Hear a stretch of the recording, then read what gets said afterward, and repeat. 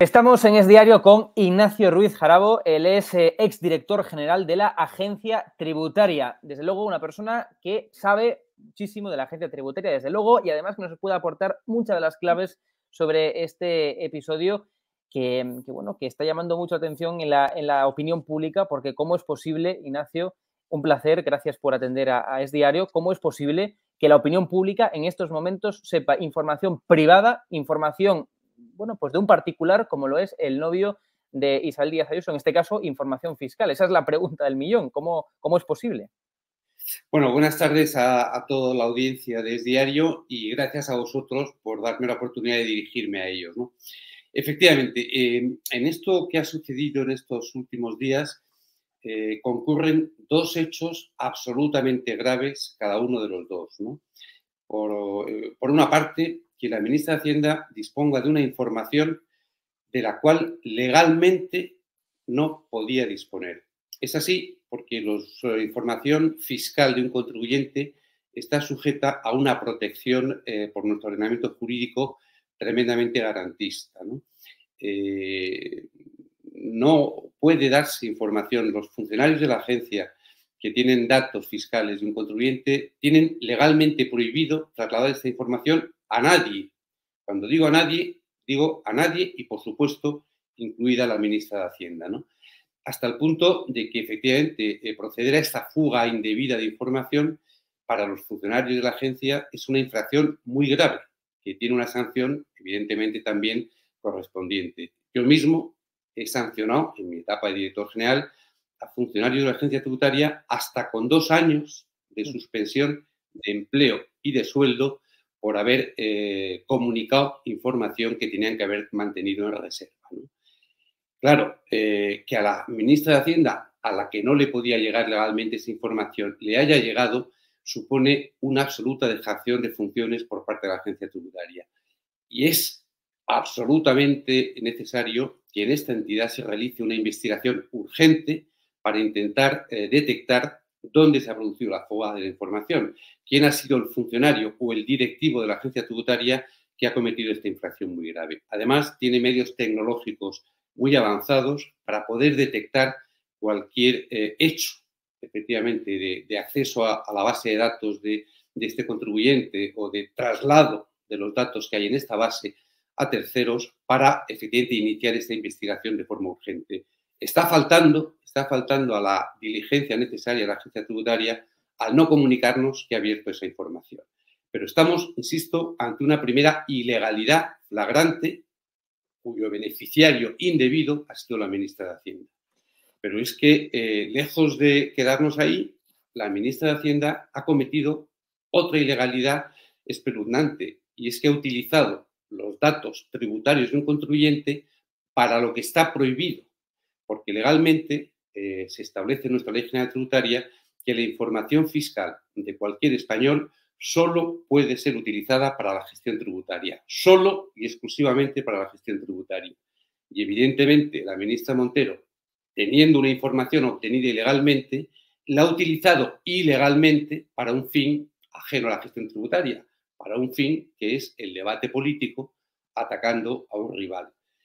Que estas dos ilegalidades, ambas, muy serias, ambas muy graves, las haya cometido la superior jerárquica de la agencia tributaria, es lo que a mí eh, me hace afirmar con rotundidad y con contundencia que es el suceso más grave que ha existido en la historia de la agencia tributaria.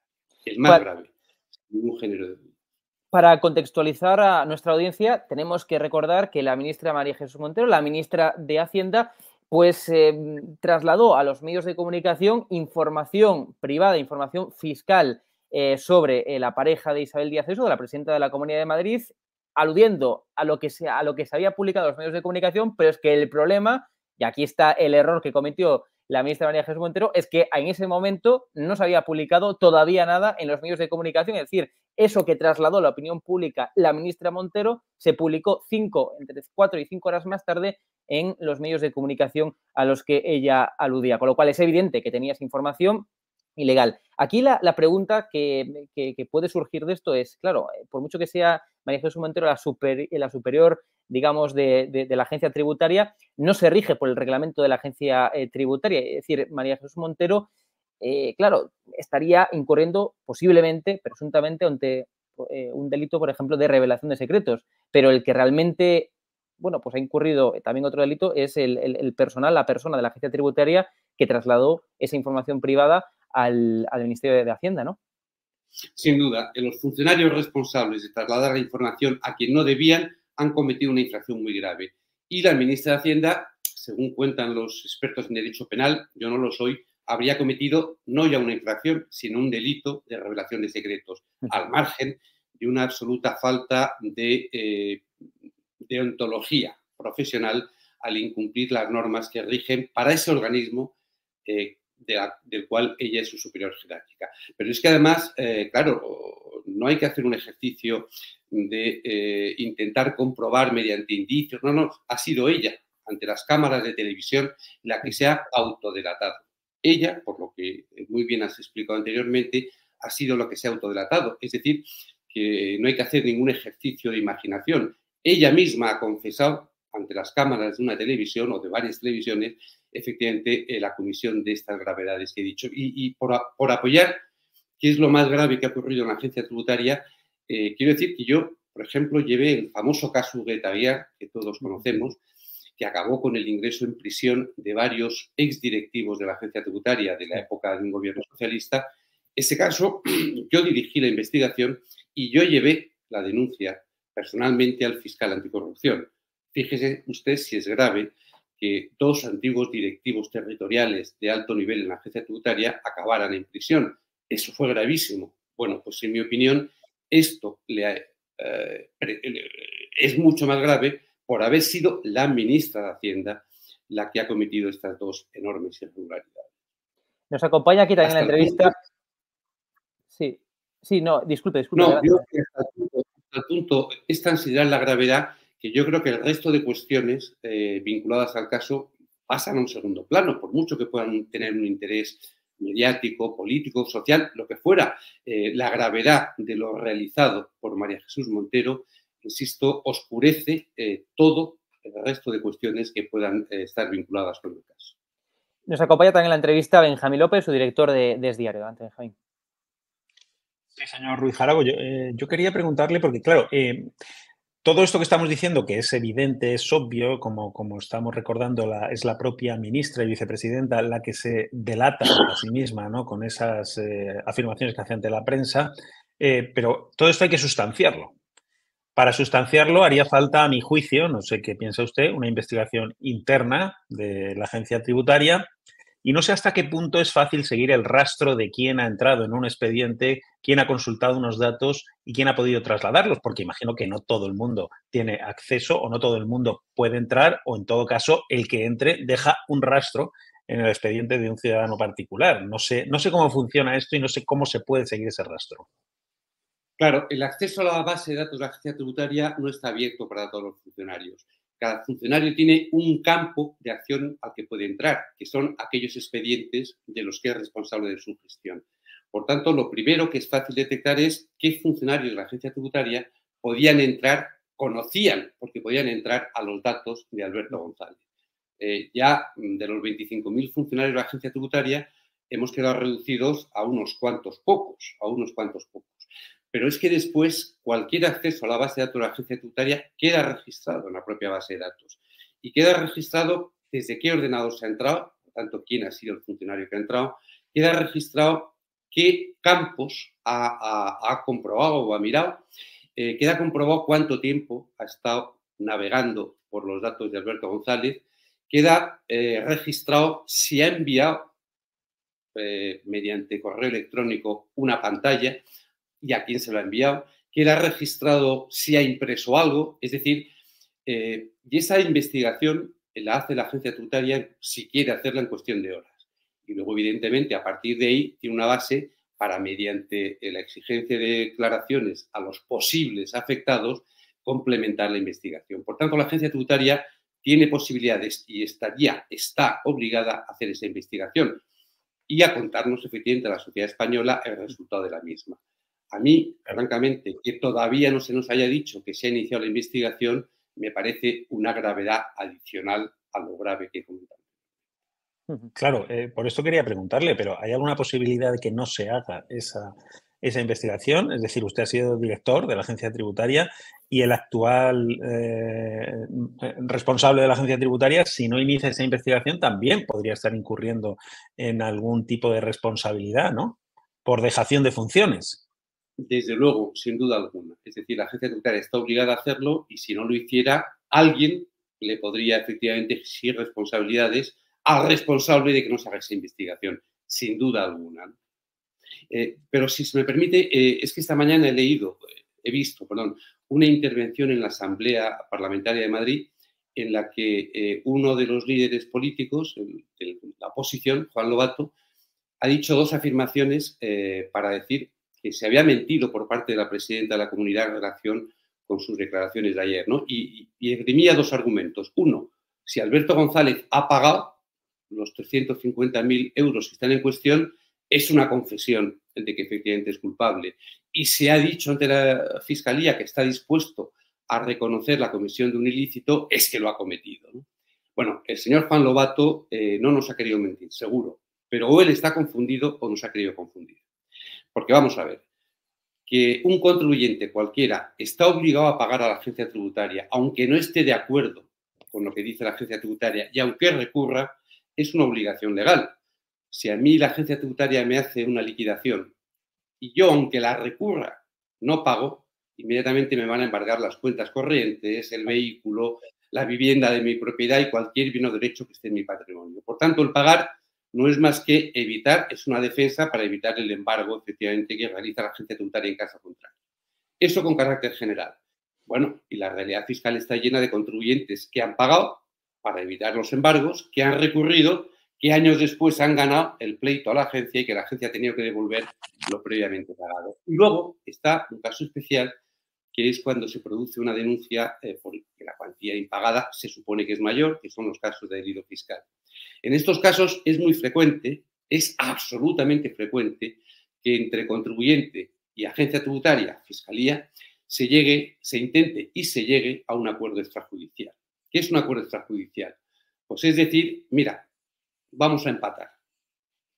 Vamos a empatar. Eh, ambos tenemos un riesgo en caso de ir a juicio, porque nadie tiene garantizado la victoria en un juicio. Bueno, pues mira, eh, si renunciamos a ir a juicio, porque ni te pago lo que tú dices que te debo, ni tú te quedas conforme con lo que yo he pagado. Vamos a llegar a un punto intermedio. Me reduce la sanción, etcétera, etcétera. Eso se llama un acuerdo extrajudicial, que es tan habitual como que con frecuencia leemos en los medios de comunicación, el último ha sido el de Shakira. ¿no? Bueno, pues para llegar a este empate, que digo yo, a esta fórmula de acuerdo extrajudicial, es obligatorio dos requisitos, porque así lo establece la ley que lo permite. Uno, pagar en principio la cuota que se dice no impagada, que se dice impagada, perdón, y admitir que efectivamente has cometido un ilícito. Si no cumples estos dos requisitos, no cabe el acuerdo extrajudicial y no cabe el empate. Bueno, todo aquel contribuyente que quiera un empate y lo quiere, pues entre otras cosas por evitar el riesgo de una derrota final o por evitar los cuatro, cinco, seis años de incertidumbre en los cuales tengo pendiente eh, todos los días y todas las noches de mi vida saber que tengo un juicio pendiente. ¿no? Esa incertidumbre muchos contribuyentes la quieren eliminar y además nadie tiene, como digo, la vacatada antes de un juicio. Por tanto, es muy frecuente este acuerdo extrajudicial y eso exige pagar la cuota y eso exige eh, reconocer que has hecho un ilícito. Eh, eso no supone una confesión, eso no supone que tenga la razón la agencia tributaria y por tanto el señor Lobato nos ha querido confundir. Claro. Sí, si me permite, muy rápidamente quería preguntarle por el recorrido judicial ¿no? que puede tener este caso, que usted ya estaba anticipando esa posibilidad de, un acuerdo. Eh, hoy publicaba el diario El Mundo un documento de la Fiscalía Provincial de Madrid en el que efectivamente se avenía la posibilidad de llegar a un acuerdo. Dice, no habrá obstáculo para llegar a un acuerdo si usted y su cliente lo estiman posible, le decía el fiscal jefe de Provincial de Madrid al abogado de la pareja de Isabel Díaz Ayuso. ¿no? Eh, también le decía que hasta dentro de dos meses, en esa carta, no tendremos el juzgado encargado del asunto. Yo quería preguntarle si es normal que la Fiscalía eh, ofrezca un pacto, que este pacto parece ser que se retira a última hora, eso por un lado, y si es, eh, ¿qué futuro judicial puede tener? Es decir, en caso de que no haya acuerdo, como todavía ni siquiera un juez está, está entendiendo de este caso, y se habla de hasta dos meses que podría tardar este, este proceso, lo normal es que esa denuncia sea admitida a trámite, que el juez la rechace, que se abra eh, una instrucción que derive en un juicio oral, si no hay acuerdo previo, me refiero. Por su, por su experiencia, ¿cuál es todo este recorrido? Venga, varias cosas. Lo primero, la polémica creada sobre quién ofreció primero el pacto, en mi opinión, es una polémica artificial. Ya he dicho antes que es muy frecuente llegar a este pacto y quién sea el que dé el primer paso es intrascendente, en mi opinión. Y en segundo lugar, lo que sí es trascendente es que parece ser que en contra de lo que habitualmente hace la Fiscalía, en esta ocasión parece que están renuentes al pacto. Extrañamente, porque a la Fiscalía le interesa el pacto, claro que sí, y a la agencia tributaria, primero por evitar el riesgo de una posible derrota y segundo por anticipar el cobro, ¿eh? por anticipar el cobro de la cantidad que se pacte. Por tanto, de forma poco académica, en cada caso de una denuncia por este tipo de cuestiones, la Fiscalía y la agencia tributaria eh, beben las aguas por un posible pacto. Por eso digo, da igual quien haya empezado eh, las conversaciones, eh, en mi opinión. Lo que no da igual es que en este caso, y alejándose de lo que es su praxis habitual, la Fiscalía parece, por los correos que nos han enviado, por la nota de la propia Fiscalía Provincial de Madrid, parece que la Fiscalía va a ser renuente al pacto. Bueno, deberían explicar por qué en esta ocasión se salen de su línea habitual de conducta y deberían explicar eh, para que nosotros entendamos si eso tiene algo que ver con el nombre y apellidos de eh, la pareja del contribuyente, porque resulta sospechoso. Sí, y, en, cuanto, a, la posibilidad de que el juez lo admita o no.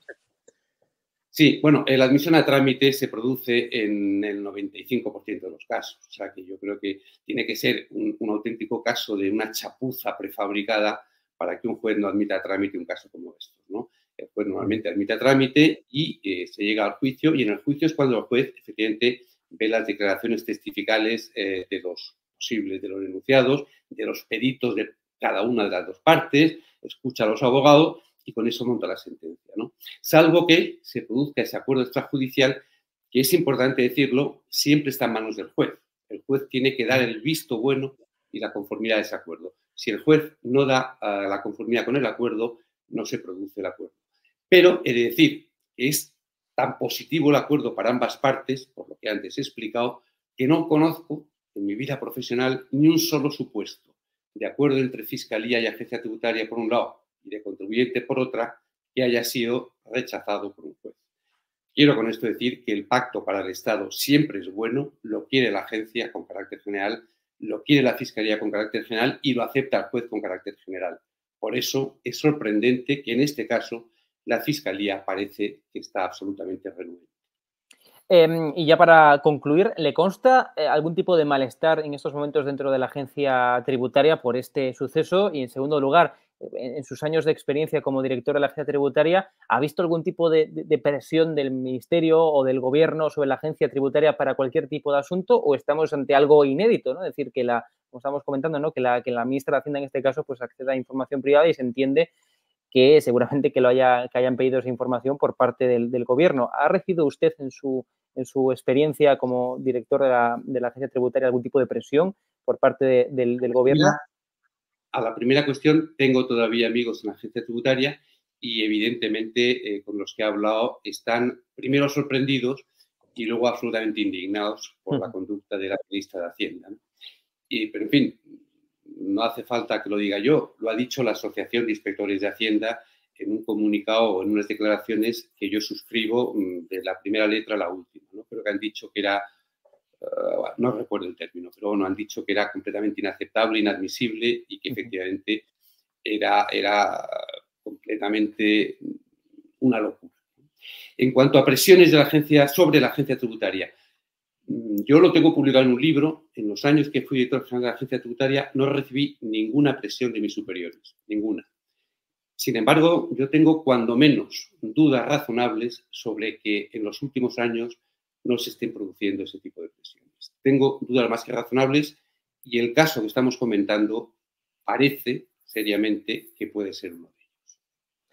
Ignacio Ruiz Jarabo, exdirector general de la Agencia Tributaria. Ha sido un placer. Gracias por atender a la llamada de, de Diario. Muchas gracias. Muchas gracias a vosotros.